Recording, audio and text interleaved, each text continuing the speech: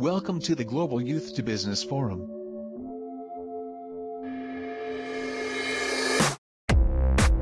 The young leaders of the world have gathered in Serbia to make history,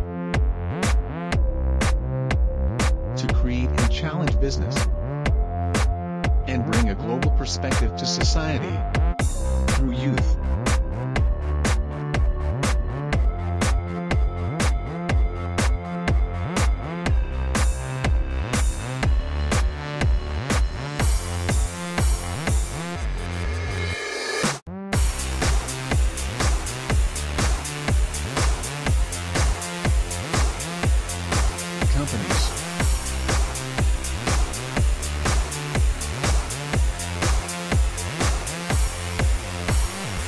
Young leaders.